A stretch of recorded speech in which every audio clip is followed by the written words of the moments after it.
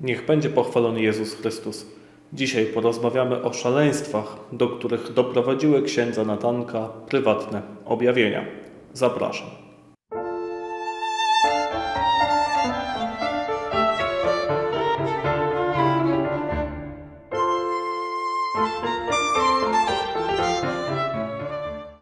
Najpierw obejrzymy sobie fragment z wielkanocnego kazania księdza Natanka.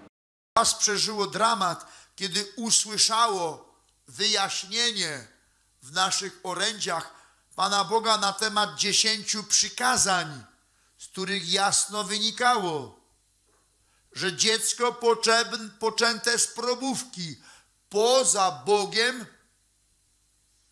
jest produktem, a nie bytem, nie istotą, jest zwierzęciem. Jaki był wrzask w internecie, kiedy rok temu jeden z proboszczów warszawskich nie dopuścił do komunii dzieci z probówki.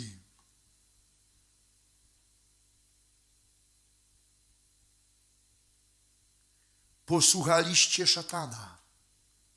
Link do całości, czy też konkretnego fragmentu całości będzie w opisie filmu. Może zacznijmy od tego, że jest to kompletne szaleństwo, które nic nie ma wspólnego ani z filozofią, ani z katolicką teologią. Jest to właśnie przykład, do czego prowadzi wsłuchiwanie się w prywatne objawienia. Takie prywatne objawienie zaczyna się pobożnie, chodzi tam o pokutę, o modlitwę. Takie prywatne objawienia bardzo często buduje na różnych złych rzeczach, które się dzieją w kościele, gdzieś tam jest skrytykowane słusznie w takich prywatnych objawieniach to, co się dzieje w kościele, nadużycia gdzieś tam są wymieniane. I taki człowiek, który to dostrzega, jak to było właśnie w przypadku księdza Natanka, on widział wiele złych rzeczy, które działy się w kościele, widział kryzys e, kościoła, no i łyknął, łyknął e, te objawienia, które tam były. Niestety, tak jak Kościół zawsze, zawsze bardzo ostrzegał przed prywatnymi objawieniami. Tutaj zawsze zalecał ogromną ostrożność. Nie wolno było podążać za prywatnymi objawieniami, dopóki Kościół nie zbadał, nie stwierdził, że nie ma tam nic, co byłoby przeciwko wierze.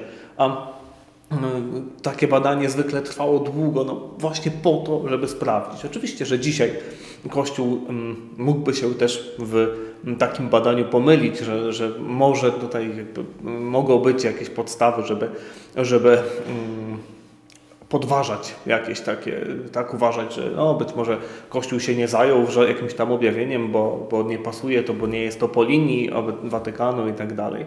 Można tak myśleć. Natomiast, natomiast nie zmienia to faktu, że nie wolno sobie tak po prostu teraz, o to mi się podoba, no to ja w to wierzę.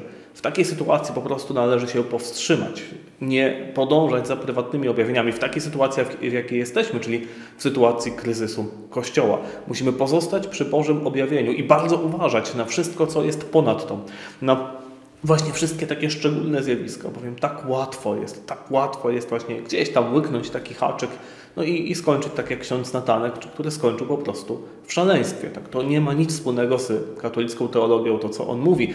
Jego liturgia nie ma już wiele wspólnego z katolicką liturgią. Tak? To jest takie, taka mieszanina e, elementów tradycyjnej liturgii z elementami charyzmatycznych e, liturgii czy modlitw charyzmatycznych i ludową pobożnością, ludową sztuką i tak dalej. To naprawdę nie ma nic wspólnego z tradycyjną liturgią i to, że on twierdzi, że odprawia według Starego Mszału, bez wątpienia jest tam wiele elementów właśnie wziętych z, ze starej, tradycyjnej liturgii. Natomiast jest to wymieszane z elementami, które są właśnie gdzieś tam charyzmatyczne, pomieszane z mm, jakimiś takimi, tak powiedzmy, ludowymi elementami e, sztuki i, i, i e, pobożności e, na sposób, który nigdy w Kościele nie byłby zaakceptowany. Przed Soborem Watykańskim II, gdyby ksiądz Natanek coś takiego odprawiał, to od razu by go suspendowali, bo po prostu czegoś takiego w Kościele nigdy nie robiono, a wtedy starano się jeszcze pilnować tego, jak kapłani tą mszę świętą odprawiają. Dwa słowa e, co do samej wypowiedzi księdza Natanka.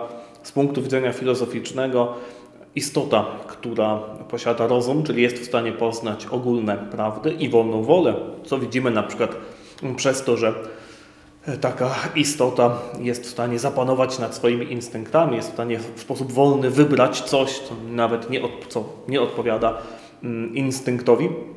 Taka istota bez wątpienia posiada duszę nieśmiertelną. Takie pytanie należałoby sobie stawić, gdybyśmy tak byli nagle skonfrontowani z jakimiś istotami rozumnymi, z którymi, którymi nie wiedzielibyśmy, tak, e, kim one są. To mm, E, wtedy należy filozoficznie zadać sobie pytanie właśnie, e, czy, czy posiadają duszę nieśmiertelną, czy nie. I tutaj odpowiedź, no właśnie chociażby świętego Tomasza, byłaby oczywista właśnie taką, jak podałem przed chwilą. Z punktu widzenia teologicznego w przypadku zapłodnienia in vitro nie ma żadnej wątpliwości co do, co do tego, że takie dzieci otrzymują duszę nieśmiertelną tutaj mamy do czynienia z, z punktu widzenia metafizycznego jakby zupełnie, z zupełnie normalnym zapłodnieniem, to znaczy z e, połączeniem gamet męskich i żeńskich. To, że odbywa się to w sposób sztuczny, tak, to jest kwestia gdzieś tam moralna, którą e, trzeba, trzeba rozważyć i, i e, która jest zupełnie osobnym zagadnieniem. Tak? Natomiast moralność samego uczynku nie ma bezpośrednio nic wspólnego z tym, czy taki człowiek otrzymuje duszę nieśmiertelną, czy nie.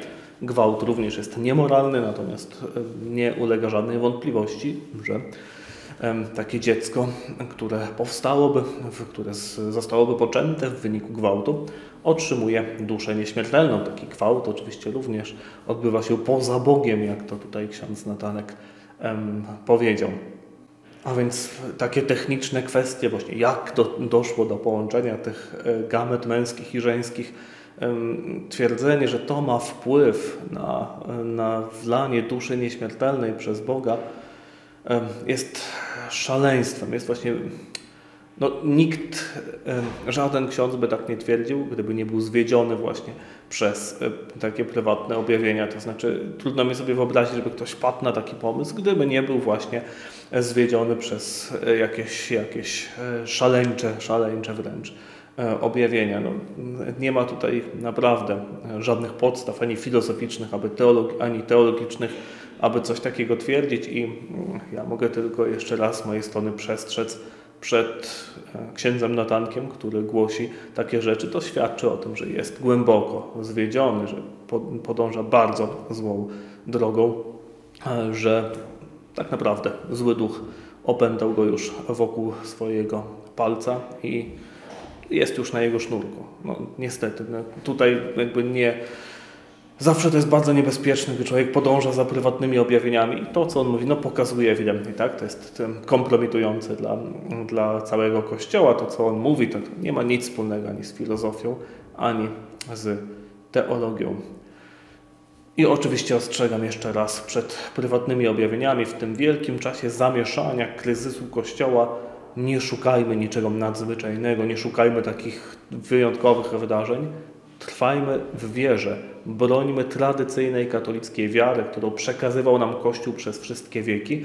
I teraz w tym momencie zamieszania nie próbujmy szukać właśnie jakichś takich wspaniałych, cudownych rzeczy, bo zły duch uwielbia tych, którzy szukają cudownych, wspaniałych, wyjątkowych rzeczy. I bardzo chętnie ich wokół swojego palca okręca, ich bardzo chętnie um, omota. Naprawdę miejmy się tutaj na baczności. Niech będzie pochwalony Jezus Chrystus.